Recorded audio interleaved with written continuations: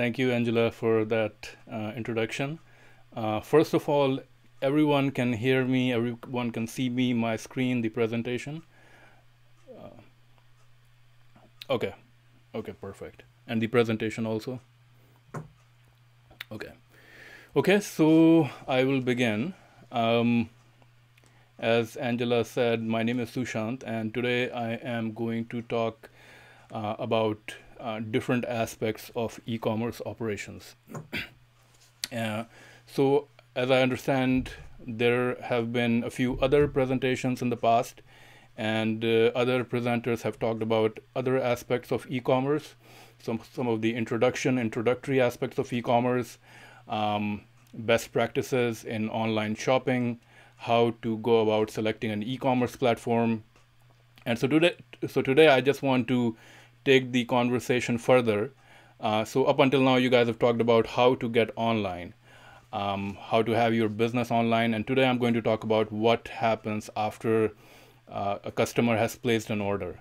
So things like warehousing, inventory management, fulfillment, um, different aspects of shipping, and some of the things that you can do around customer service and uh, unboxing experience that will help you to um, make a great um, impression on your customer. And I think the main message that I would like you to take away from today is that if you do the different aspects of operations correctly, uh, basically you have a, a, really good opportunity to build, uh, to have a great impression on, your customer and build long-term customer loyalty and trust, uh, which is ultimately uh, in the long term, long term is going to translate into uh, positive business outcomes for your business. And at the end of the presentation, I'm going to share one case study uh, to, to really demonstrate how one company uh, utilized um, uh, the different aspects of operations and, and really focused on customer service and giving a great customer experience and really had a great success and really uh, was able to grow the business uh, quite a bit. So before I get into the topic, I just want to give a quick overview of uh, what's going on in the e-commerce industry right now. So, uh, as you know, um, we were hit by COVID at the beginning of March. Um, in the last five years, e-commerce has been growing year over year uh, at a pretty steady rate and uh, taking more of the percentage of e uh, retail sales uh, every year. And different research suggested that this trend is going to continue, you know, in the coming years also. But really, something uh, interesting happened when COVID hit was uh, because of uh, business closures and everything, the shutdowns. Um, businesses uh, wanted a way to reach their customers, and the way they found that is by using e-commerce and digital technologies. And so, if you look at this graph. Um, uh, at, at the beginning, uh, around March, April, e-commerce sales really took off. so it was more than doubled compared to previous years. And uh, so it really shows uh, how businesses adapted to uh, what happened with COVID. And all kinds of businesses were affected, uh, especially small businesses, uh, in terms of um, you know losing revenue, uh, having to lay off the employees, rent deferrals, finding um, having to get more credit from financial institutions to to pay for operational expenses, and so on. Uh, but even small businesses found ways to uh, to try to move towards e-commerce if they if they were uh, purely brick and mortar before, um, or even also uh, try to leverage other digital technologies to get online. And one of the indications of this uh, of increased adaptation of e-commerce was is that Shopify published in their latest report uh, that in Q3 they had the uh, highest number ever of uh, uh businesses uh, converting to paid customers. So that really gives an indication of you know a lot of small businesses who were not online before moving towards e-commerce, and also you know some of the entrepreneurs really taking advantage of this opportunity that that e-commerce has and and really starting new businesses. So it really gives an indication that this is a great time right now for e-commerce uh, and, and really uh, getting online. So today I'm going to talk about different aspects of e-commerce operations. So really what happens after a customer has made a purchase uh, on your website. Uh, first, I'm going to talk about inventory management and different aspects of that. So warehousing. Um, so warehousing, what is warehousing? Warehousing is the organization and storage of goods uh, to achieve operational efficiency. So if you're if you're a small business, you have some goods to sell to your customers, uh, and you want to uh, find a way to store those goods in a way so that it's uh, efficient for you. So if a customer purchases purchases an item from your store, you don't want to spend half an hour trying to figure out where that item is. You're storing it in a way so that you can uh, quickly ship it out to the customer. And there are different ways, uh, different types of warehouses that, that can be used. As a startup, if you're um, new to, to a business, uh, maybe you want to start off with an in-house warehouse. So maybe just use uh, space in your house or uh, some other space that you have available to store your goods. Uh, in-house warehouse is also applicable to brick and mortar stores that are already in business and they already have um, different processes set up in their business. Uh, so they may already have a warehouse space and they can all they can use that warehouse space to uh, to continue using that. Um, as different businesses grow and they uh, uh, they, they grow enough that, that their current needs are not meeting, uh, a different solution is to use uh, a third-party logistic solution, a fulfillment center, uh, and really start outsourcing their warehousing. So, uh, and and this also makes sense when you say, uh, you know, I've grown enough. I don't want to deal with the logistic side of things, so I will hand it over to a different partner uh, who can take care of that for me. some other solutions could be short-term or on-demand solutions. It really depends on what your need is. in warehousing, uh, the unit of organization is a stock keeping unit, uh, and it really helps you to uh, to divide and, and stock your items in bins, and shelves, and pallets. And when you have a lot of items and, and you're, you're a big a bigger business, then uh, a manual uh, warehousing, uh, you know, keeping track of things manually will not work. So in that case, you're going to have to find some sort of an automated solution, some sort of a software. Uh, it's called a warehouse management system, and it really helps you to uh, manage your warehouse uh, efficiently. Uh, to, to give you an example of um, uh, operational efficiency using warehousing, um, recently last year, I visited an Amazon warehouse, uh, which is not too far from where I live here. And Amazon basically gives you free tours of their warehouse. Um, of course, not right now, but previously they were. And to show how they were achieving uh, operational efficiency, of course, when you go to their warehouse, you see a variety of different things. You see robots being used for picking items. Uh, and one of the things that they told us was uh, to achieve efficiency, one very counterintuitive thing that they do is they don't they don't stock uh, SKUs uh, in one location. So if you have one item, one product, they wouldn't have a shelf where they have stocked, uh, uh you know, the same item at the same place. Uh, instead, what they do is that th this item will be uh, in random places all over the warehouse, and they really keep track of it using different automated systems. And the reason they do that is uh, really to achieve operational efficiency uh, which is that in case, for whatever reason, if an item has a, a spike in demand, they don't want all the robots going in, in, in one place in one direction. And so uh, by, by putting items in random places, they, they make sure that you know they're they're achieving operational efficiency. So for every business this is different. Of course amazon is a pretty big business so they they've found a different solutions for their warehousing. But uh, every business uh, has to has to find the solution that works best for them. Inventory management is about keeping track of the stocked goods. Uh, it's about monitoring how ma how many of a certain item you have, where it is located, what are the weights and dimensions of the different items, and by by uh, having an optimal inventory management system, you're basically trying to achieve two things.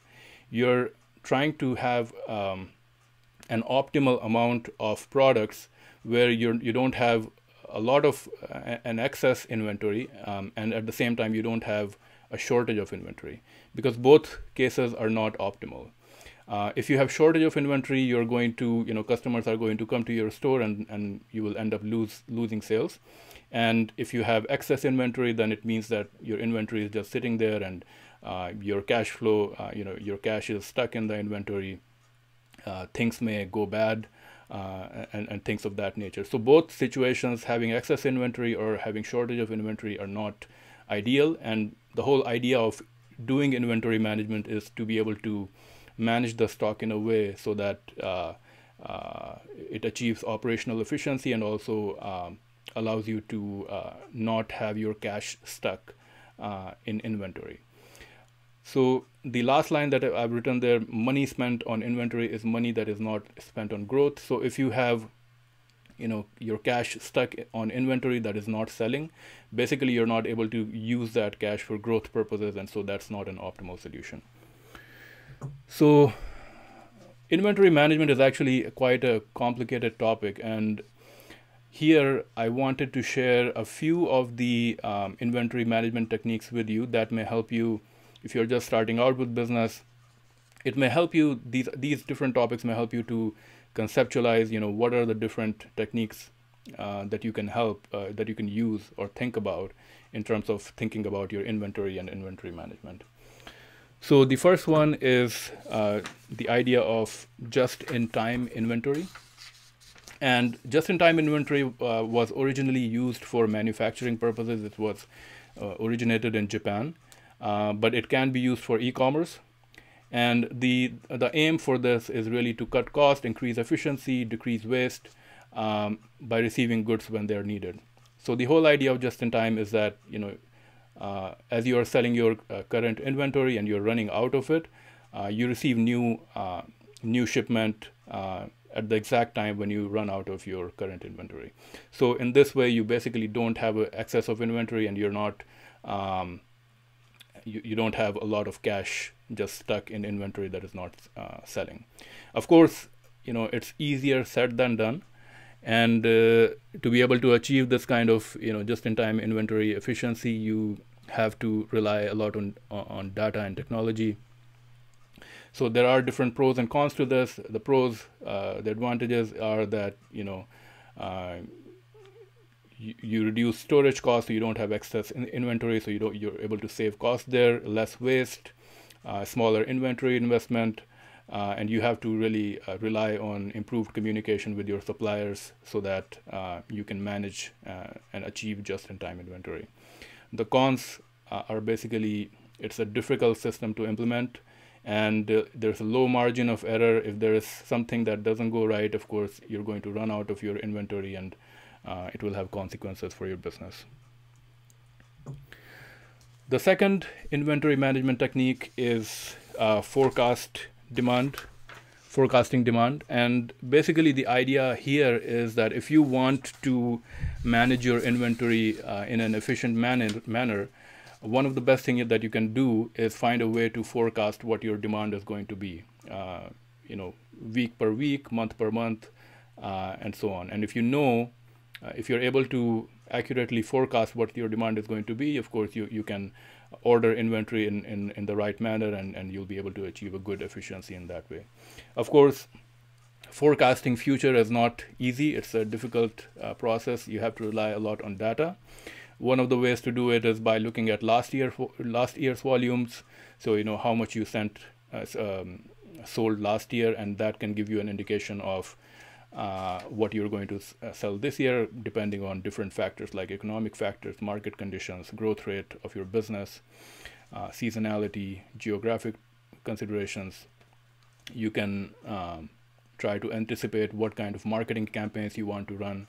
And based on all these different factors, you can try to forecast uh, what your demand is going to be. And based on that, you place your order uh, upfront of course again you know this is forecasting is a difficult method and and uh, as a startup if you don't uh, if you don't have uh, data from pre previous years uh, you have to find some way uh, to to try to uh, figure out or try to predict what your demand is going to be. Maybe you look at other businesses in your in your industry. You have to do some research to find sales data and things like that to try to predict that. And so if you can, if you have a good idea of your demand, then you you'll you'll be able to manage your inventory properly. The other way to manage your inventory is to have triggers um, in your management process where uh, a system tells you, you know, when is the right time for you to order a certain product, uh, uh, and and that can help you to make sure that you never you have the optimal levels of inventory in your business. Here I have measure, uh, I've listed three different measures um, or, or triggers that that give you that kind of information. So the first one is set par levels, which is basically minimum quantity of a product that should be on hand at, at all times. So if you decide that product A, you should always have 50 of that no matter what in your uh, warehouse. Um, then as as your inventory is achieving uh, is reaching uh, 50, you know that now it's time to uh, place an order. Uh, the second one is safety stock. It's basically another measure you, you want to have a certain amount of stock for emergency purposes at all times stocked in your warehouse. Finally, uh, the third one is called reorder point. It's also another trigger. Uh, it's the level at, at which it's time to replenish stock. So all these different triggers, I don't want to get into the different formulas and things like that, but if you think about it, if you uh, are a startup and you only have a few products, you can probably do some manual processes. You can use Excel and try to manage your inventory and you know have a good idea on when you have to order uh, um, uh, a new batch of items. But as you continue to grow or as you have more products uh, uh in your business, uh, manual uh, manual management is not going to work. At that point, you have to use some sort of an automation or some sort of a software to be able to manage these things. Because otherwise, you'll be spending too much time on just managing your inventory and you won't be able to focus on growth activities and things like that. Um, another management technique is to take more of a prioritization approach. So uh, something called an ABC analysis. And you look at, you know, if you have 10 products that you sell, you look at which are the products that are uh, that result in 80% of your revenue. And uh, based on that you focus more on those products those few products that that uh, that are responsible for most of your revenues and then you can give lower priority priority to other products. And again the idea here is to achieve operational efficiency to uh, to be to be able to uh, be efficient in, in managing your inventory this method is contingency planning, um, and this is really about planning uh, on in what happens in an uh, uh, in an un unexpected situation. So let's say that uh, you know sales spike for whatever reason, or you have a shortfall of cash, or something happened in the warehouse. Um, you know maybe an item that you don't sell very well is taking a lot of space in the warehouse. Um, if there's a issue with the manufacturer, maybe manufacturer is no longer producing the item that you sell, or the manufacturer goes out of business. So it's really about you know in your business thinking about these kind of situations, uh, unexpected situations, and planning for it beforehand uh, or ahead of time. Um, and it will help you to uh, manage your inventory and, and figure out ways in which uh, you know it, you know these unexpected things uh, may not negatively affect your business. So it's really about uh, thinking ahead.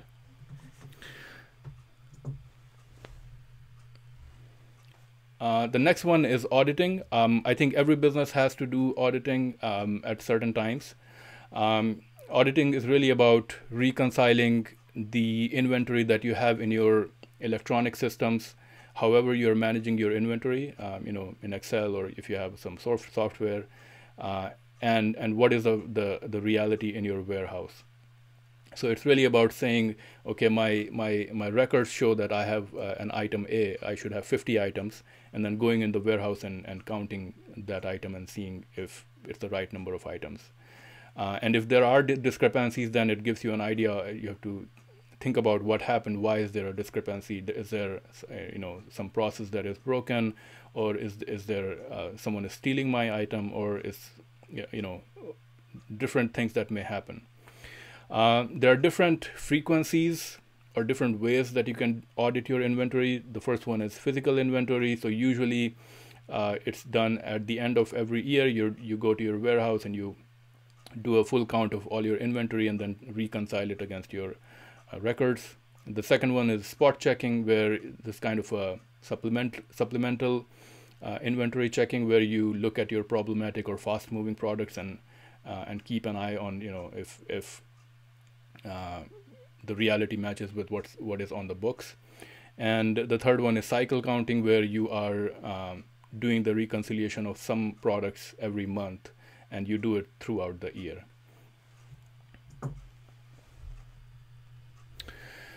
The next method is relationship management, and this is also very, very important.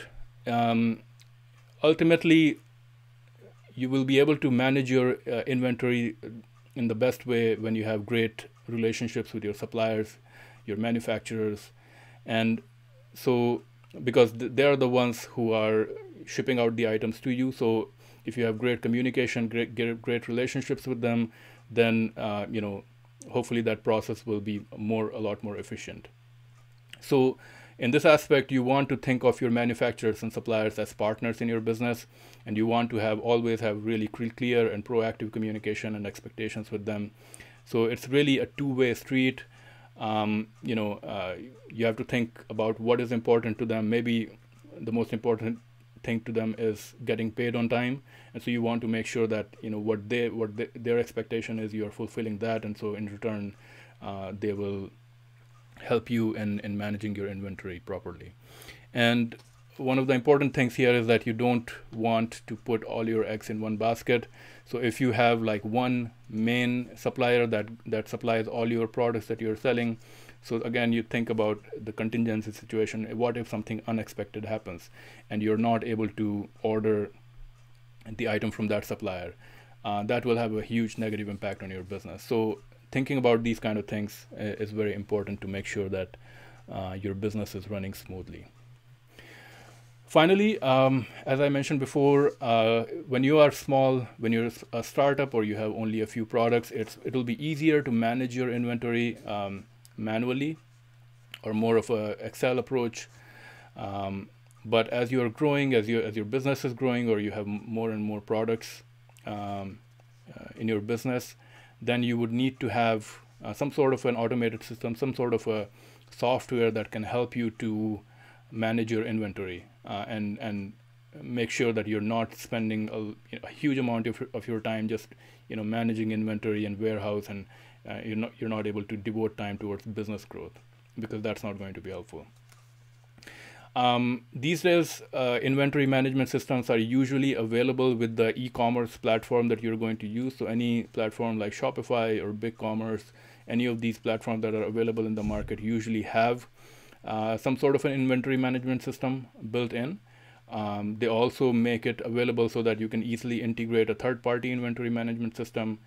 Um, and these systems really help you to uh, manage your inventory, even if you have uh, your inventory located in different warehouses and uh, and different places, uh, you can have a central management of the inventory.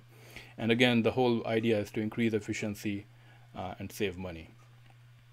And usually, these inventory management systems uh, not only just help you managing your inventory, they have a variety of built-in tools like reporting. They, they, they, they give you triggers on when to uh, you know what is the right time to order stock and things like that. So it's it's really great to to to be able to use these systems and to manage your inventory. Similarly you can um, you know the the platforms also integrate with accounting systems and uh, your inventory uh, the different aspects of your business uh, you know in terms of tax taxes inventory um, you know cost of goods sold uh, also integrate with different accounting systems and it's it's useful to have this in terms of reconciliation purposes to see you know what is uh, you know what what is the report that you're getting from your accounting system in, in terms of your inventory reports, uh, different financial reports, and and what is the reality. So it helps you to uh, reconcile your inventory with your accounting. And again, um, the, the different e-commerce platforms that are available in the market, they they now usually do have uh, the ability to uh, easily integrate with different systems. So it, it really makes it easy for you to manage things. So you don't really have to rely on manual management. So now we've talked about warehousing, we've talked about inventory management. The next part, um, I'm going to talk about e-commerce fulfillment. So uh, what happens after a customer has placed an order? Now you have to, uh, the fulfillment is the process to take the item from your warehouse and now get, get it into the hands of the customer. So fulfillment is the process of preparing and delivering a customer's order, which is really about picking the item from your warehouse, packing it, shipping it out, and then the ability to, to track it. And there are three main uh, methods, three, three main options in the e-commerce world. Uh, the first one is drop shipping, then you have in-house fulfillment and third-party logistics, and I'm going to talk each of the, about each of them here. So what is drop shipping? Drop shipping is the um, the simplest e-commerce business model, um, but you know it may not be the best one uh, for a variety of reasons, and and I'll show you the different advantages and disadvantages of dropshipping. Uh, basically, what happens in dropshipping is you open a business, you create an e-commerce business, you list different products in the business, you do marketing, and when the customer comes to your site, they may place an order. You're responsible for pricing and once the order is placed uh, you don't manage the, the the item you don't manage the physical inventory basically you have built partnerships with manufacturers and wholesalers and you transfer the order either manually or automatically to the manufacturer or the wholesaler and they're the ones who take the inventory out of their warehouse ship uh, uh, pack it and ship it out to the customer. So it's a it's a very simple model. You know you don't you don't have to deal with the inventory. So so there are different advantages to that um, of course the first one is you don't need a lot of startup capital because you don't have to buy uh, any product. And so it's easy to get started. Uh, it's low overhead for your business. You can run it from anywhere. Um, you can also there is no limit to the number of products that you can list on your website because you don't have to have inventory. And one big advantage of this is that if you have listed a lot of different products on your website, it's you know over time you'll you'll get a good idea of which products are act actually selling and which ones which ones are not selling. And so eventually down the road, if you want to say that you know I want to actually have a physical product business, I want to buy the product, uh, maybe create your own brand, uh, you will have a good idea in terms of data uh, to know which products actually sell in the marketplace. Now, dropshipping, as I said before, it's not the best business model out there. There are definitely a lot of disadvantages. Uh, it's low margins um, because, you know, you're only marketing your products. The real uh, people who have the product and who are shipping it out are the, the manufacturers and wholesalers. So you really get very low margins uh, on the sale.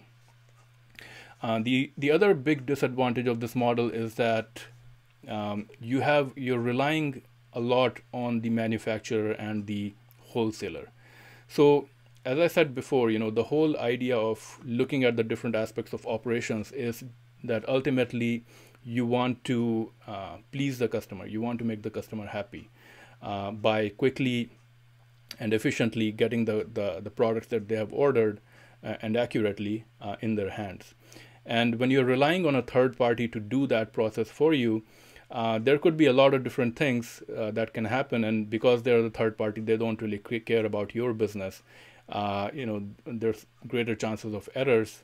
And so at the end of the day because it, the customer is yours the customer is going to come to you if something uh, you know either they receive the wrong product or the shipping is late or you know variety of number of things that that may happen uh, the, the customer is going to be unhappy with you uh, so that's that's a really big um, uh, disadvantage of this model. So it's a good way to test the uh, test the market, but uh, maybe maybe not a great business model for long term. So in terms of fulfillment, this is a model where uh, you're not you're, you're, taking more of a hands-off approach to fulfillment. You do, you're not dealing with the fulfillment. You're just managing your business. The second option is in-house fulfillment. So this is more relevant to startups or also brick and mortar stores that uh, that already have uh, warehouse and they have different processes. This is where you know if as a startup if you have low order volumes, basically when you get an order you take the item from your you know maybe home warehouse, you put it in a box, you know you, you package it up, you take it to uh, a shipping service provider and you ship it out to the to the customer. Uh, in the other situation, if you're a brick and mortar store and you, you you're new to e-commerce, you may already have a warehouse, you may already have the different processes. So it may make sense for you to simply hire a person who, who will do order management or, or, or, or order fulfillment for you, and they can uh, you know pack and ship the items to the customer. Um, this also works if a product has the product that you're selling has special packaging needs that can't be handled by a third person. So you really need to package your product in a certain way. Uh, so in that case, also in-house fulfillment is a better option. Finally, um, the last fulfillment option uh, is third-party logistics, and this is the the option where you are basically saying, uh, I'm not going to take care of the logistics myself. I'm just going to let someone else who specializes in uh, logistics uh, and fulfillment uh, take care of that for me. I'm just going to pay them a certain fees and let them do it, uh, do this for me. And the reason for this is uh, third-party logistics. They specialize on the fulfillment processes, so they're working with a lot of different businesses. So they have really focused on building different infrastructure, technologies, and and so they can really be uh, very efficient in terms of fulfilling your order for you.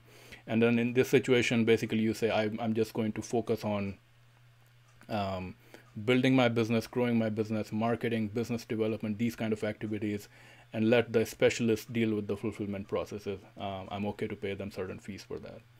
So third party logistics this is really about outsourcing your fulfillment and uh, because of their expertise they can bring a lot of value in terms of economies of scale uh, in terms of uh, you know having uh, lower costs in terms of shipping and things like that because because of higher volume they have negotiated better prices with shipping service providers uh, and so on.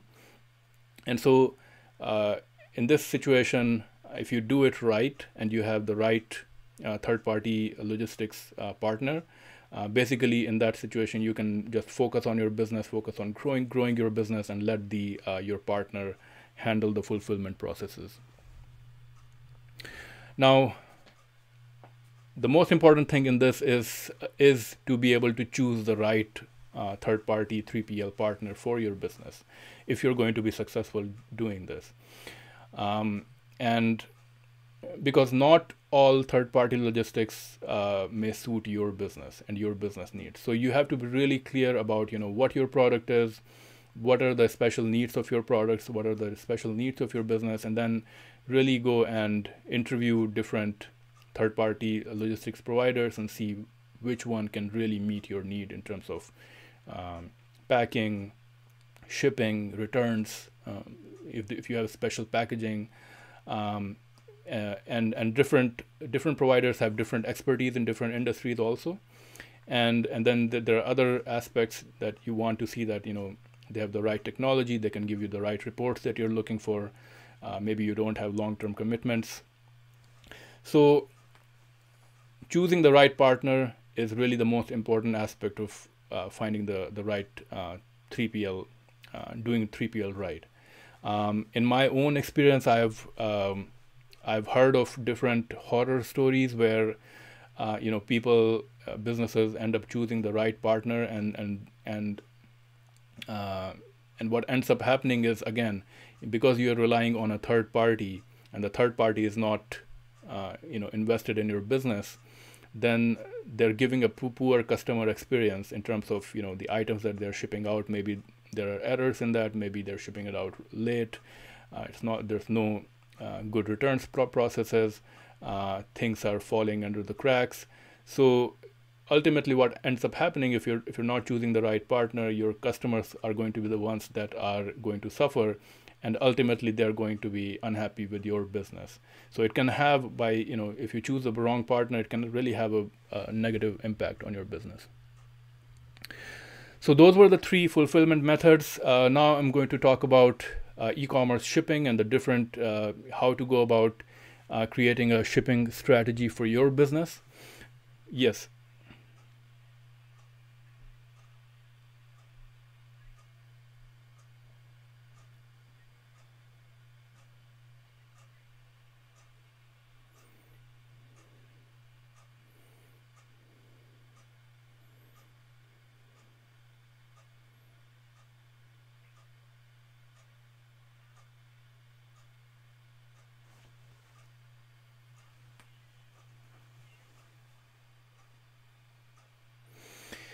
Yeah, so just in time is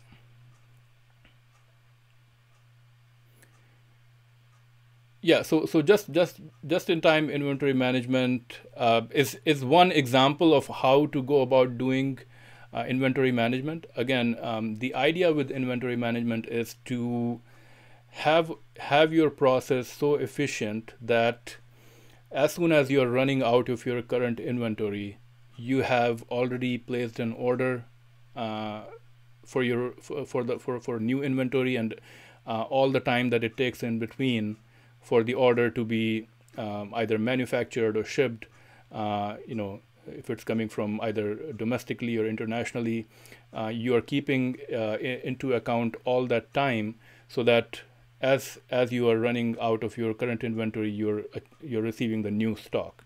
And so you're not uh, you know there's never a, a situation where um, you have too much stock so that you have too much cash stuck in in, in inventory or that you know you have uh, a lot of inventory just sitting on on the shelves. And and the second situation also you know you're not running out of stock where um, you don't have items. So customers are placing order on your website but you don't have enough items so that you can uh, fulfill them. So both situations are bad. Um, how can it be helpful? I think that's that's uh, that's the whole point of it is to achieve operational efficiency. Um, you can do it manually. Of course, you have to be very. If you're doing it manually, then you have to be very uh, keep an eye uh, on on the inventory levels, and you have to have a way of different triggers uh, informing you when is the right time to order the inventory. Um, but of course you know if you have an automated solution a software that can help you to do that uh, much more effectively. So it's just one example. Their inventory management is a, a, complex topic and you know the complexity increases as you have more uh, products and and you know uh, and every product has different needs different uh, demands. So um, so it's really about you know automating it and and uh, you know, finding people who are specialists in this thing to be able to manage your inventory. And so that's that's one of the main reasons why when businesses become larger, instead of doing in-house fulfillment, instead of managing everything themselves, because if you're trying to manage uh, inventory yourself, then you have to build all the infrastructure yourself. You know, you have to find uh, the right technology, you have to find the right softwares, you have to find the right people, who can do the management for you. Um, rather, what a lot of people do, a lot of businesses do, is they go and go to the specialist. So that's where you have these third-party uh, providers uh, who specialize in and who who have already built all the different infrastructure. They can really bring their technology, their ex- expertise, their infrastructure to help you to manage that effectively. So I don't know if that answers your questions. Did did you have like any specific?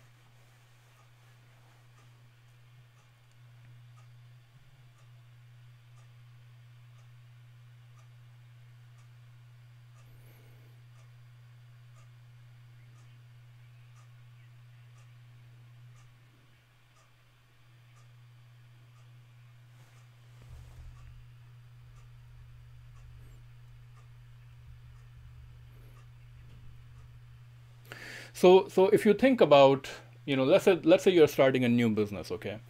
So instead of looking at the formula, let's think about it more conceptually, okay? And then I can maybe look at one of these formulas here. So if let's say that you want to, um, you have a product A, right? And your manufacturer or your supplier is, let's say, sitting in China, okay? So think about, you know, one what what happens when you place an order, uh, and and what what different steps that that would require. So if, you, if you're placing an order from a Chinese manufacturer, of course, you know, you are going to communicate them in a certain way. Uh, that may take some time. You know, you're going to email them because of time differences and, and, and you know geographical differences. There may be a few days that may take for them to get back to you. There, you know, there may be some communication back and forth in, in terms of confirming things, confirming uh, different uh, you know payment terms and those kind of things. So that may take some time. Uh, then from there, they may not be ready to manufacture your pro uh, your product. So it may take them some time uh, to to actually because they, they may be manufacturing other products. So so it may take them some time to actually manufacture the, your product, your order. Uh, and so this is this this whole time before you know when when you place an order to when they are ready to ship your uh, your um, items. This is called lead time. Okay, so this is the the the, the time between placing an order and, and receiving, basically them being ready to to ship it out to you. Then the next step, if you think about it, is they're using some sort of a shipping service, whether it's an ocean freight or air freight. They ship it out, then in your country there will be some sort of a custom process where the items are stuck in customs. You have to do certain custom processes to get, get the item um, out of the customs. So so the whole process if you think about it there, there are many many different steps to it and there are many places where if things didn't work out properly there's chances for things to be delayed okay?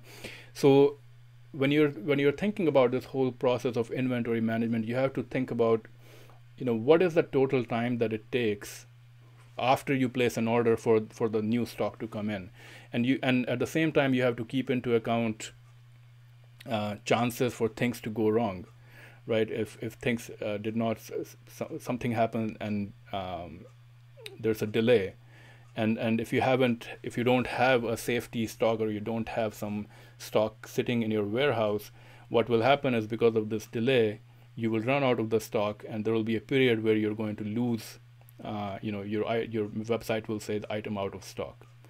And so so this is the whole idea of you know these different triggers. So if you think about this uh, you know reorder point uh, calculation that is here it, it basically says reorder point equals lead time demand plus safety stock.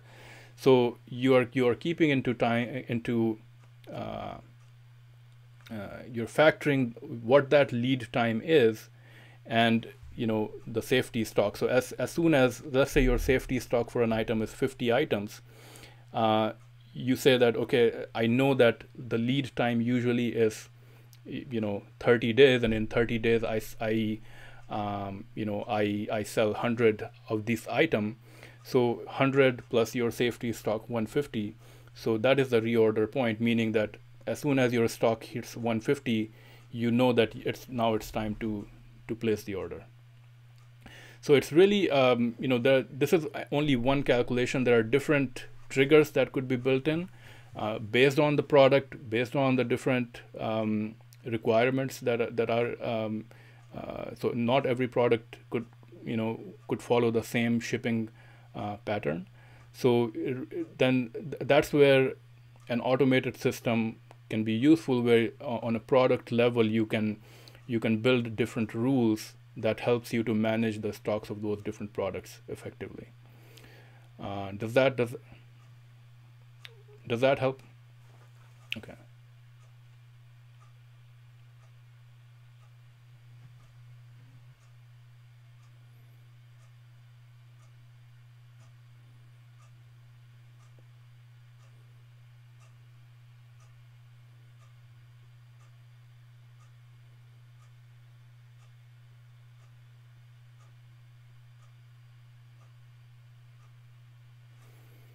So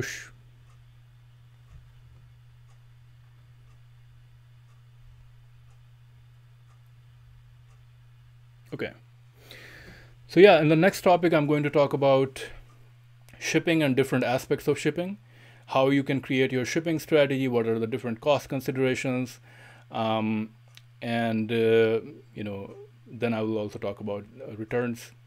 But again, here there is no one, uh, one, one, uh, you know, one, um, one way of doing things, right? Every business, every product, uh, you will have to, based on what your unique requirements are, will have to come up with a different shipping strategy that would work for your business. And uh, hopefully by the different things that I talk about here, you will be able to create a, a strategy that will work best for your business.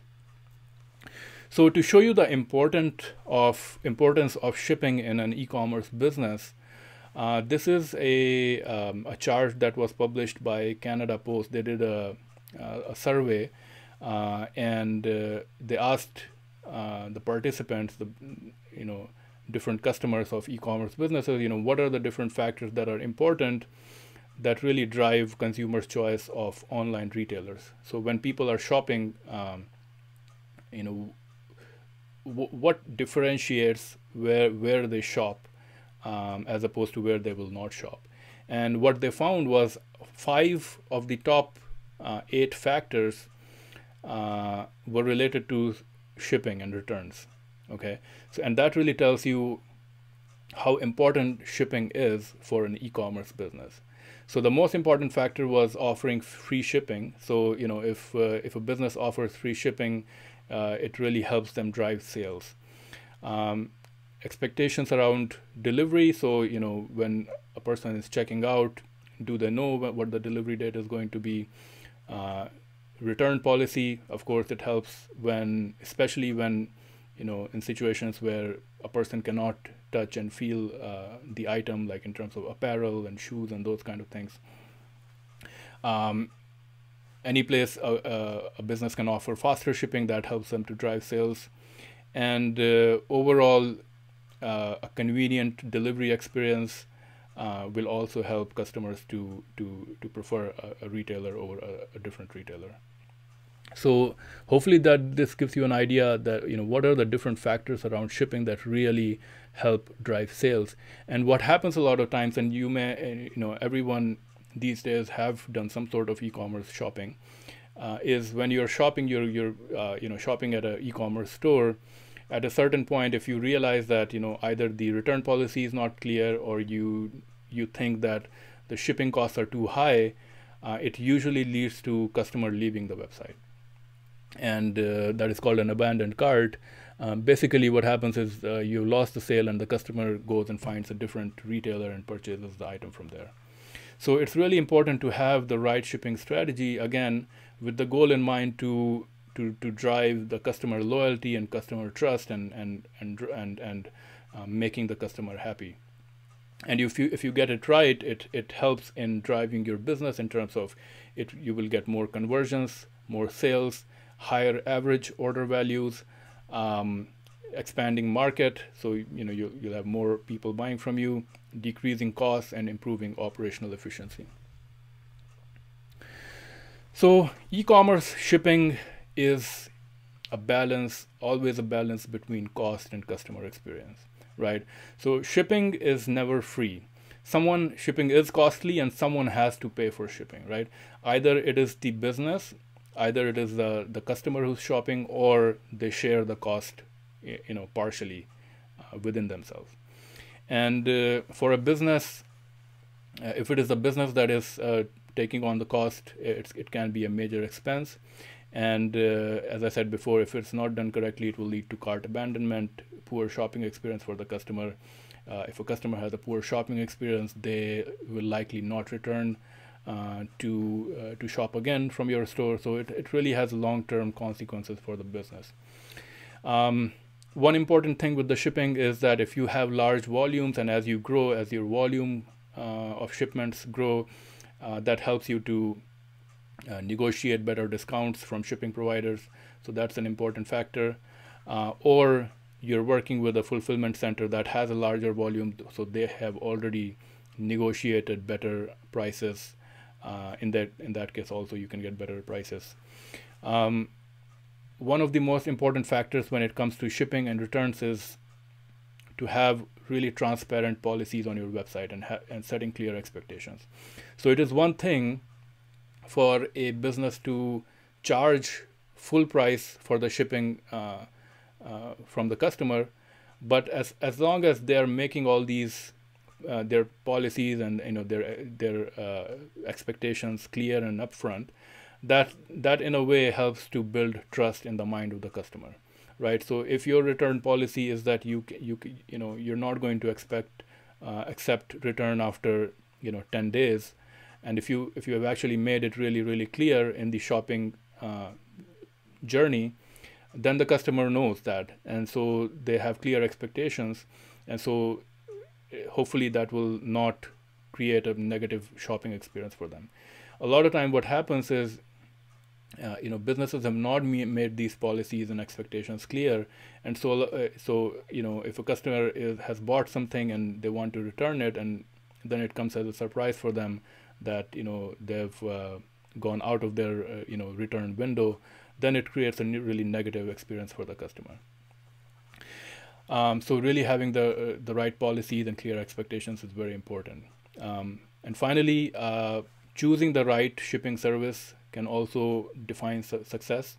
And as I was saying before, uh, not all services are uh, are equal in terms of you know your business may have some special needs uh, your products may have some special needs and so some some shipping providers may be better at dealing with those needs so it's really about choosing the right provider that will uh, really uh, be a partner for your success so building your shipping strategy as i was saying before you know someone has to pay for the shipping costs. It could be the customer it could be the business it could be you know uh, both of them uh, pay partially. And to figure out what that you know what that right level is for your business you can do some sort of a financial analysis. You can list out the different costs you know cost of the product packaging what is the shipping cost um, you know how much profit margin you want to make on your product. And based on that it may help you to set the right price for your product or it may help you to decide you know how much uh, of the shipping cost you want to bear as opposed to you know how much you want to pass to the customer. So a financial analysis can always help. Um, one thing uh, in a lot of startup situations um, it is suggested you know a, a best practice is um, because you know most of the customers uh, prefer free shipping is to build build in the cost of shipping in the in the uh, in the price of the product. And that usually helps to give customer the impression that you know they're paying free, free shipping even though it is part of the uh, part of the cost of the product. Uh, it is easier to do that um, when you have your own branded product rather than if you're selling someone else's product and you know there are many retailers in the market that are selling the same product uh, then it will be easier because there will always be other retailers then that you know can sell it for a lower price. But if you have created your own brand if you have your own branded uh, item it it helps a little bit in terms of because you're then responsible for your own pricing um, and so it, it helps a little bit in terms of uh, working with the different different options so shipping strategy there could be different shipping strategies. You can um, go for free shipping. You could basically um, bear the entire shipping cost yourself. And as you saw before in the chart before you know that may help you to drive more conversions more sales. Uh, and and if you do a financial analysis maybe that is a, a worthwhile uh, option for you to pursue uh, the other option is real-time quotes. So when when the customer is going through the checkout process, basically they get real-time quotes from the shipping provider. So the shipping provider has a has some sort of a, uh, integration with your e-commerce platform and that uh, you know you get real-time quotes uh, in this situation a lot of the times uh, the customer will also see, see different shipping speeds so the customer has the option to choose the the right uh, shipping speed for them, and uh, basically in that situation, the customer is paying uh, for the cost of the shipping. The third situation could be flat rate, where you say that you're going to bear certain cost of the shipping, but the customer has to pay a certain flat rate. This may work better better in situations where you have a pretty standardized uh, set of products, uh, you know, in terms of volume and weight, because shipping is really dependent on, on volume and weight uh, factors. So if you have a standardized group of products where the volume and weight of products are pretty standard, uh, then uh, it may be useful for you to give a flat uh, shipping rate kind of a, an option.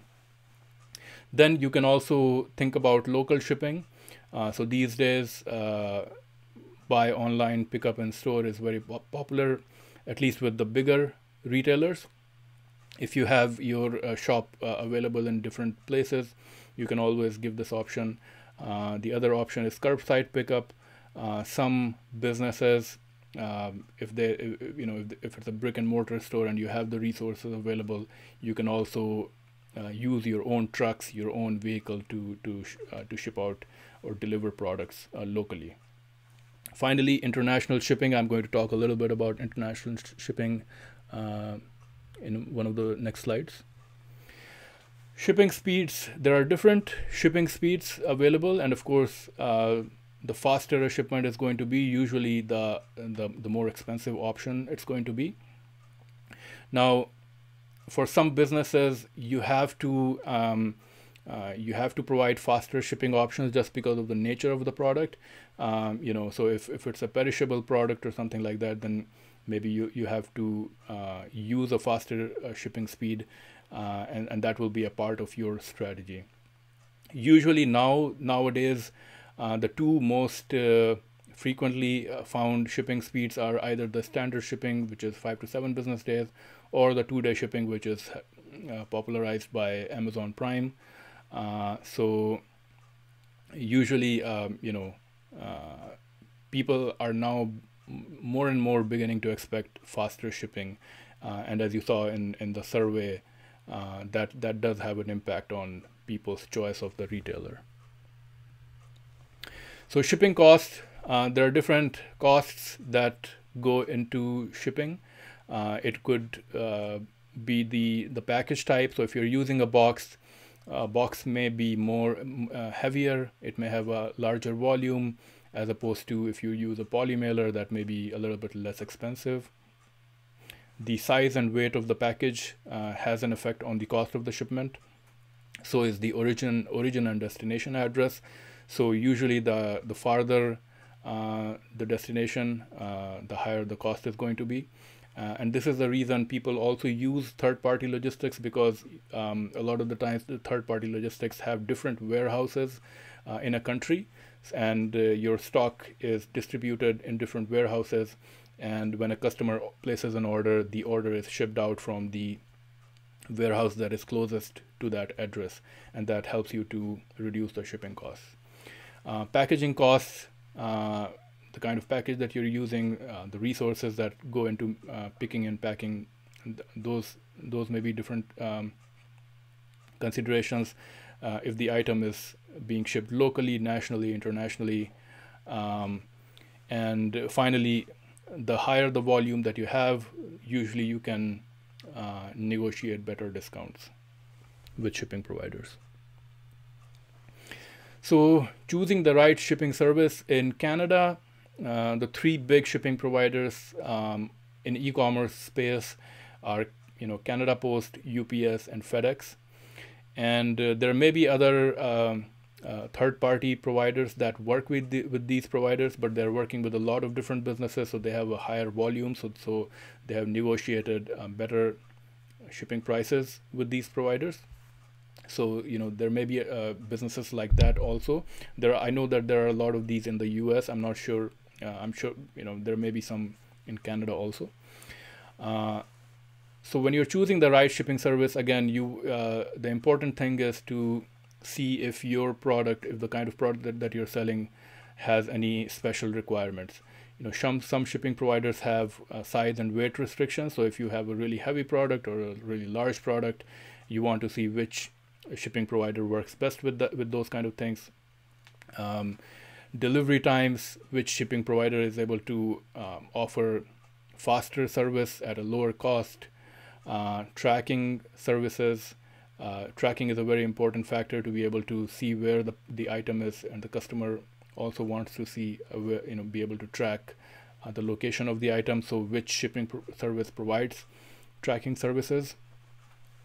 Um, the ability to create business accounts. So, as a business, you will get uh, more savings in, in, in shipping services as opposed to if you just uh, take your product uh, as, a, as a personal shipment uh, to the post office and want to ship it like that, that will be always be uh, a higher cost. Now, one one thing that you always have to keep in mind that you know any high volume retailers shipping is kind of creates a competition so if you're selling a commodity product and uh, there's another retailer that is a high volume retailer, maybe they'll be able to offer free shipping uh, to, to ship that item, whereas you are not able to do that. So that's definitely a, a, uh, a, a, competing factor. Uh, in that situation, and, and that's the reason, you know, most of the small businesses these days are competing with Amazon and some of these high volume retailers. And the strategy that a lot of the, these uh, in, in such situations that small businesses use is they try to uh, value add in other ways. So they may say that, you know, Amazon, uh, you, you, know, maybe you as a small business can provide a more educational approach or a better customer service that helps the customer in making the purchase. Uh, so that becomes kind of a value add for the customer. So they're they're they're happy to ship from you, even though they have to pay shipping. So that is kind of a strategy to compete with um, big retailers like Amazon, um, which a lot of businesses use. Uh, and that's also one of the reasons why branded products uh, work better in terms of competing with uh, retailers like Amazon and always negotiate fees with the shipping services. Um, they're happy to uh, give better, and they have programs to provide better shipping cost to cost to businesses. Uh, insurance and tracking is very important, um, especially if you have uh, a product that is expensive. Uh, you want to have some sort of insurance because uh, if if it gets lost in the mail, then uh, insurance helps in in in um, giving you a little bit of uh, security and peace of mind. Tracking also is always very important, both for the business and the customer to be able to see where exactly the pack package is. Um, tracking also helps in terms of you know if a package gets lost or damaged, uh, or in situation of you know customer saying that they did not receive the item or they're saying you know they have made a chargeback claim. So the tracking uh, you know, whatever financial institution you're working with, they're, they're going to ask for you for your tracking number. And if, if you have that, then uh, there are better chances that you'll be covered uh, for the charge. Uh, some shipping services offer complimentary insurance up to $100. So always, uh, you know, when you're talking to, when you're uh, finding out the right shipping partner for yourself, always ask, you know, if they have some complimentary insurance coverage. And uh, yeah as i said uh, insurance is especially useful if you have like more expensive items. International shipping. Um, so international shipping is, is definitely useful as you are growing uh, as you um, as you're growing your business you want to access new markets uh, for Canadian businesses of course you know US uh, is is the first option US has about 10 times bigger market than Canada, so it's you know cross border. It gives you easy access to a bigger market. Um, you can also check your analytics to see if there are other places that uh, where the where the traffic is coming from, uh, and also you can look at customer service requests to see uh, if people from other countries are, uh, you know, if there's a demand for your product in other countries and other places. Uh, always a good idea to start small and and then build from there so if you are building an international strategy you know always always good to start with uh, one new country rather than just going after 10 new countries because that will be difficult to ma manage. Uh, see if there's a product market fit, there's, uh, you know, uh, what languages you're uh, comf comfortable communicating with. Um, if your product, let's say that you're, you're selling something that is um, that is applicable to places that, that has um, that have beaches, then you can safely assume that other places in the world that have beaches may also have demand for your kind of product. So that may be one way to figure out, you know, which which markets to track um, target. And it's always easier to work with lightweight and smaller items because lightweight and smaller items are usually easier to ship even internationally.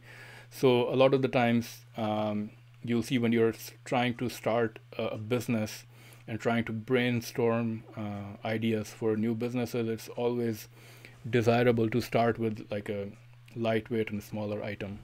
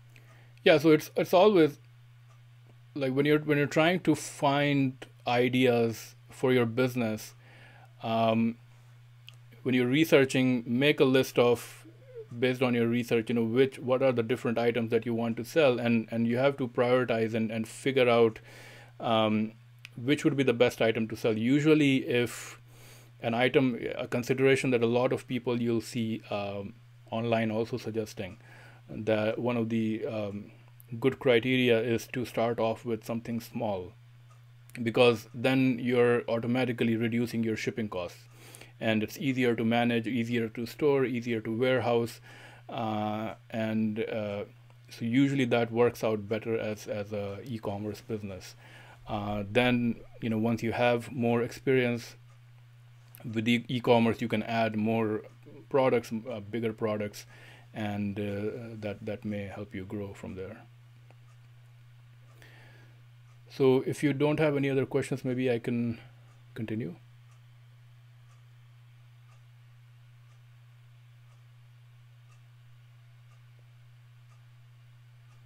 Okay, so in terms of cross-border and international shipping, uh, there, there's other considerations also that you have to keep in mind. So many countries have different rules and regulations around importing, uh, you also also have to check, you know, if the product that you're selling uh, is not considered a hazardous material or dangerous good or it's fragile, then you will have different um, requirements in terms of shipping. There may be more complexities. Uh, you have to see what kind of custom forms and documentations you have to take care of to do international shipping. Um, then you have to find out the different costs and delivery option for international shipping. Of course, it's international shipping usually costs uh, a lot more than domestic shipping. Uh, and in that case, uh, tracking and insurance uh, becomes even more important uh, because there's greater chances of losing your item internationally. Um, again, you want to have very, uh, very good good transparency around different fee, fees and delivery expectations and return policies when it comes to international shipping because uh, things are always more complicated. Um, uh, in terms of delivery expect expectations, uh, an international package is always going to take more time to deliver, and that's always uh, good to note uh, on your website in your policies and and uh, and things like that. That if if someone is ordering internationally, you know you want to give a, a, wider window for for delivery so that the customer has uh, expectations around that. Um, there's usually also uh, tariffs and duties and taxes, additional taxes and, and duties that the receiving country may have that the customer may, may customer may be responsible for.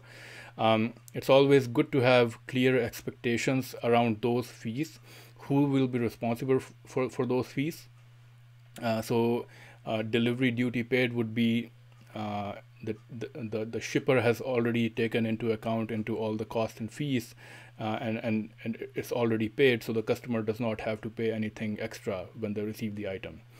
Uh, as opposed to the other option, delivery duty unpaid, uh, when the customer receives the item at their location, uh, uh, they may have to pay some extra fees to the shipping service in order to get that item. And again, it's, it's very important to have clear expectations around these fees uh, so that there's no uh, surprises. Uh, to give you an example, uh, a few days ago, a few months ago, I ordered a pair of shoes uh, and it was coming from, I think, uh, I had placed an order from the U US site. The item actually came, came from UK and when I went to pick up the item at Canada Post, they basically said you have to pay additional 50 or 60 dollars. And uh, that came as a surprise to me. And uh, uh, because nowhere on the website they had mentioned that anywhere uh, if it was clearly visible on the website that I may I would have to pay extra fees when I receive the item, then it may have uh, you know changed my uh, buying decision. I would not have bought it, but because it was a surprise for me, I ended up not accepting that item, and and they had to basically ship ship it back to the uh, uh, to the retailer. And in that case, if you think about it, what ended up happening is the the the uh, the shipper actually ended up losing the the shipping cost for that item. So it was actually a negative for them in terms of money and uh, it also created a, a, poor customer experience for me now I'm, I'm you know i don't think i'll ever go and purchase uh, anything from that site again so it's very very important to have clear expectations uh, shipping workflow. So uh, when when you're shipping um, and you're growing as a business, as you will get more products and more volume, uh, more orders, uh, you want to build a, a, workflow that that works in terms of you know you able to quickly ship out the item to the customer. You don't want to be in a situation where uh, you know you're spending too much time just shipping out the items every single day and you have no time to work on business development or marketing and those kind of things. And uh, the e-commerce platforms these days, like Shopify and BigCommerce, etc., um, have good workflows built into them, so they do make it easier for businesses to uh, to to to have this workflow where they can quickly print out uh, shipping labels and things like that and ship out the item. So you you always want to find ways to optimize this shipping process and uh, ultimately you know if uh, uh, as you are growing more and more maybe the solution is that you have to hire additional resources who will do the shipping full time for you or you may start exploring third party logistics options and really start outsourcing your uh, fulfillment processes. So now I'm going to talk about returns a little bit. Returns are also very, very um, important factor in an e-commerce business especially because uh, in an e-commerce situation you're not able to see the item uh, you know uh, uh, in person. You're not able to touch it. You're not able to try it on. And so return is does make a huge um, uh, huge part of running an e-commerce business. Uh, now, some industries and some businesses, of course, will have higher return rates than others. So, if you think about, you know, anything like apparel or shoes or anything where a, a customer wants to try it on uh, before buying it, because in an e-commerce situation they're not able to do that, um, there will there will always be um, higher return rates in the in those situations. Now, now, what happens in the return situation is that um, someone has to pay for return shipping. and and uh, either it's the customer or the shipper. Uh, so there is a cost uh, involved in that, uh, and so you have to decide as a business, and you have to do some sort of a financial analysis to figure out, you know, what is the what, what is the most financially feasible uh, option for your business. Uh, again, it's it's always better to have transparent return policies on the website. So if you have a 30-day return policy, uh, it's it's always good to make it really really clear. If you have any additional requirements, like you don't you don't want the product to be used, or you want the product to be in its original packaging conditions, or you if you have restocking fees, those kind of different factors, you always want to make sure that it's very very transparent on the business, because again you don't want to surprise the customer. Um, in terms of return strategies, again, um, really would depend on your business and what you are comfortable with in terms of financially.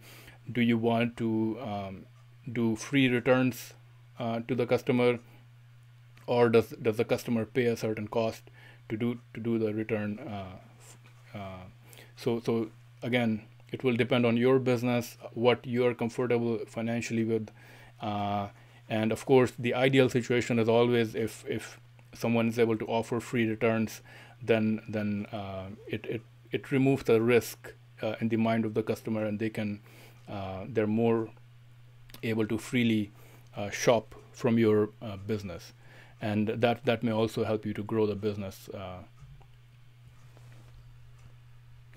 minimizing returns there there are certain strategies and tactics that you can do that may help you to minimize returns um, again you have to see what works best for your business but these are just some best practices. So having high quality images and descriptions on your website um, if the item that you're selling requires has certain size conditions um, uh, you can have some fitting tools. These days uh, are becoming more and more available where people can just by using the cameras uh, able to try out uh, different items like you know uh, eye eyewear uh, glasses and things like that. Customer reviews are very very important. Uh, so when people purchase items, they read customer reviews, they read negative reviews, and the business should promote that because that helps other people in choosing the right items. So if if you make it easier for people to choose the right item to buy, then you will minimize returns in that way. Choosing the right packaging. So when the item is shipped out to the customer, the, the packaging doesn't break, uh, the item is not damaged, so that's always important. Having a really great customer service uh, where people can uh, call and ask questions before making the purchase uh, and also uh, be able to ask questions afterwards, that, that will help uh, minimizing returns. Um, the ideal situation would be to to get the order right the first time. So if everything is accurate uh, what customer has ordered uh, there are no errors that would also help to minimize returns. There are situations where you know people customers who are serial returners so it's not the business fault but customers have a habit and i've come across in my experience uh, people like this where you know they would just buy lots of things and then return it and th- and this is just a pattern like they're not really interested in keeping an item. They will just they just purchase and return it and that that's a huge cost to the customer. And so when you come across customers like this then you fi- figure out a way whether you want to uh, ban such people or find certain um, processes to deal with people like this. Um, make return easy for customers and that that is again to leave a good shopping experience for customers. And uh, over time you will uh, see different things. You know you will uh, see if a certain product has a higher return rate then you you know try to analyze why that is the case and try to fix that and and, and in those ways over time figure out ways to minimize returns so finally, I'm going to talk very briefly about a couple of things uh, that will help you to um, give that wow experience to the customers. And again, the idea of all these operational topics is to be able to ship out the item to the customer uh, as quickly as possible and as accurately as possible and really give the customer a great experience uh, after placing the order so that you know it generates loyalty and trust and and uh, and and makes them a long-term customer. So unboxing experience a lot of uh, businesses these days are really uh, going the extra mile uh, to delight the customer with their packaging. So you know the whole packaging uh, and you may have seen on youtube you know uh, unboxing experience and these kind of videos where people it's, it's really an experience after they receive the package how they go about opening that box. Uh, that box may have different uh, design and elements of surprise. And what uh, what this does is uh, it it helps customers remember you for a longer time and customers also share this on social media so it creates buzz for your business uh, some of the different things that you can do to uh, in the unboxing experience is uh, sometimes you will find samples of uh, of products uh, or, or little gifts, thank you notes. Sometimes you know one company that is known to do this is. Um, well.ca in Canada. They they were writing like handwritten thank you notes. You can put some educational materials inside the box. Um, you can put like coupon codes, things like this that would uh, help customer to bring back to your site and, and make uh, additional purchases. So, of course, you know, as a, as a startup business, uh, going this extra mile will have some additional cost involved, but um, uh, if you can do anything, I think that, that, to to delight the customer, I think that always goes uh, that that's always a good option. Finally, customer service is a big part of uh, running an e-commerce business. Um, and there are a few things that you can do in terms of um, providing great customer service to your customers so that it uh, it has a great it leaves a great shopping experience. Uh, one of the most important things is to have a frequently asked questions section on your site. So the questions that you get again and again, you have a section where you answer those questions, uh, and this will minimize the customer service calls that you get, the questions that you get that you have to answer again and again. So that's helpful for your business also. Uh, create efficient processes for customer service. So if you have, um, if your business is growing, maybe you have a ticketing system that helps you to do customer service rather than just using email back and forth. Uh, be available on, on multiple channels. So these days, customers are using different channels for customer service purposes. Uh, people are using Twitter, Facebook, uh, chat, uh, website. So if it is possible for your business, uh, be available on the different channels to help the customers. Uh, again, it's about delighting the customer. Enable self-service. So if on your e-commerce website, if the customer can log in and they can check out the status of the order, they can check out the tracking number, these kind of things uh, that also helps. Uh, create a personal experience, and I'm going to show you an example of that in a second. Uh, have customer reviews. Again, customer reviews help customers in, in making the right uh, choice of the product that, that they want to buy. Uh, improve response time. So uh, the better that you become in terms of answering questions over time, uh, you want to, you know, nobody likes when you, I think everyone has the experience of calling uh, your bank or your telephone company and waiting 30 minutes. That that leaves a really really bad impression in the minds of the customer. So you want to have quick response times, uh, and again. Um, th there is no one size fit all. Uh, it's it's a learning process. In your business, you will have certain learning process where you learn about things and you optimize your process and then uh, go and, and improve that. And finally, I want to talk about one case study. Um, and this business, Zappos.com, some of you may be familiar with it, some maybe not. This is actually a pretty big business in the US. And uh, they, they started out um, in 1999 with really nothing and they grew up to be a pretty big business. Um, eventually, Amazon acquired them in 2009. So after 10 years, they grew pretty big. They were acquired for about a billion dollars. And they really built their business around this whole idea of operational efficiency, customer service, building a culture uh, around customer service.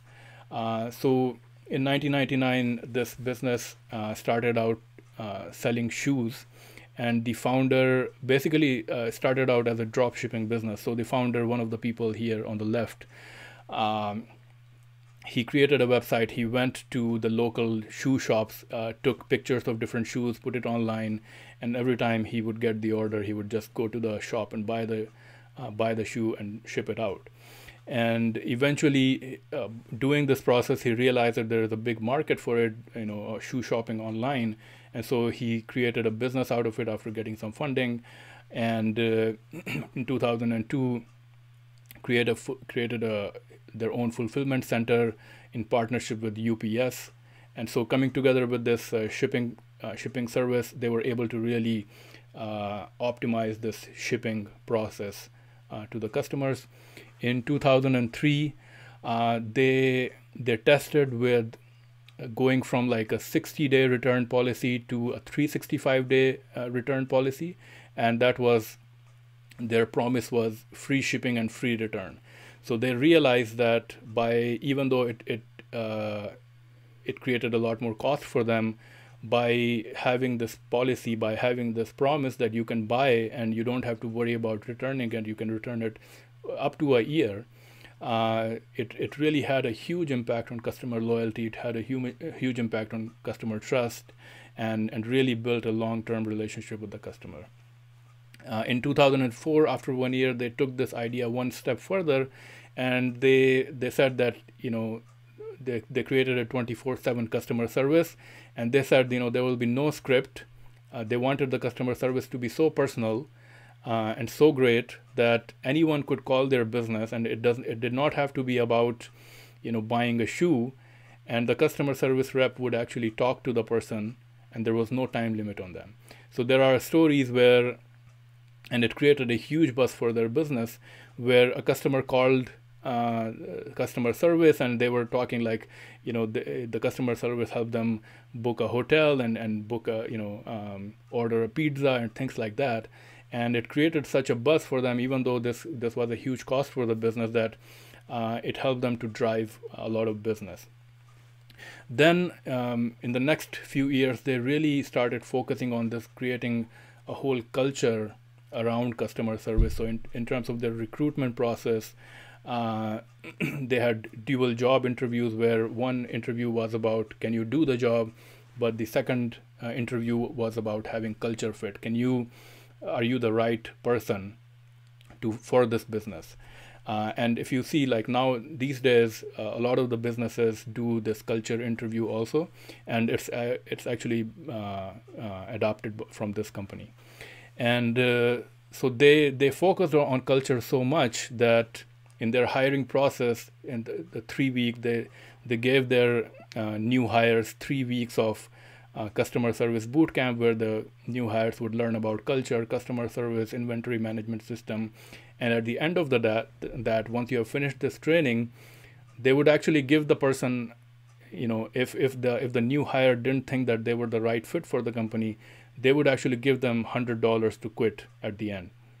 And they still have this policy. I think now they give up to a one month of salary for the person to, to quit. And the whole idea behind this is, is to find every person that is so uh, so fit and so aligned to their culture and their values that they you know it's it's ultimately about providing that wow experience to the customer, uh, providing that and building that uh, customer happiness. And uh, and and they, they they followed on that uh, and ultimately in 2009 uh, they were uh, acquired by Amazon. At that time they were about 1 billion dollars. And in 2015 they, they continued to grow. And now I think in 2015 they were about 2 billion dollars. So you can see that starting from nothing just by focusing on some of these aspects, the operational aspects, and focusing on customer service and building customer happiness and loyalty, uh, even though there was uh, a huge cost that went into the business to be able to provide that kind of experience, they really were able to build a long term business. And if you think about companies like Amazon, uh, they have a similar philosophy with with their fast shipping and quick returns, uh, no questions asked returns, these kind of things. Uh, it's really designed to build that customer happiness and and uh, customer loyalty and trust. So something to think about when you are building your business is uh, you know focusing on customer and and getting the customer happy by getting these operational processes right uh, would really help you to build a, a successful business.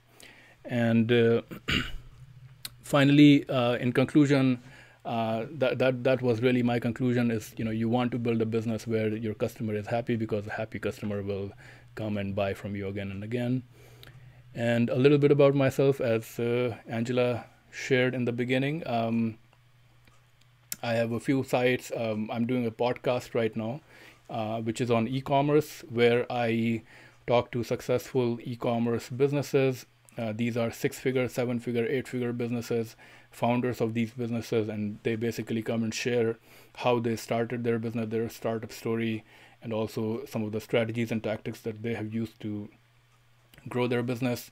Um, you can also contact me anytime um, through my email if you need any help in regards to uh, e commerce, digital marketing, product management. Um, um I'm happy to help anytime, and I have some social media uh, addresses there. So if you have any questions, I'm, I'm happy to answer them.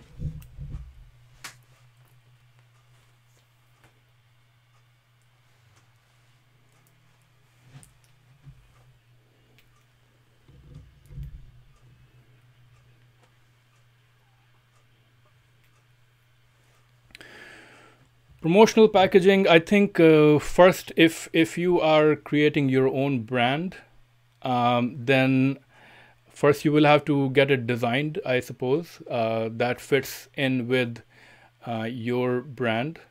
Um, and then uh, there are you can search online. Uh, there are many businesses that um, uh, that that can help you build the promotional packaging.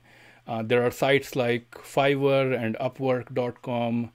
Um, where you can find a lot of people who will be able to help you just with the design process uh, to come up with the right uh, design and strategy for your packaging.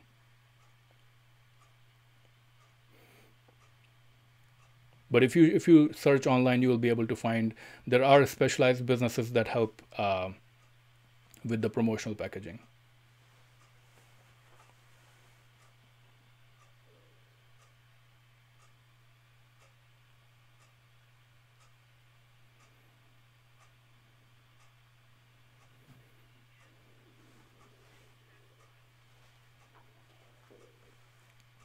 Um, just uh, just search on Google, um, or were you referring to Upwork.com? It's upwork.com.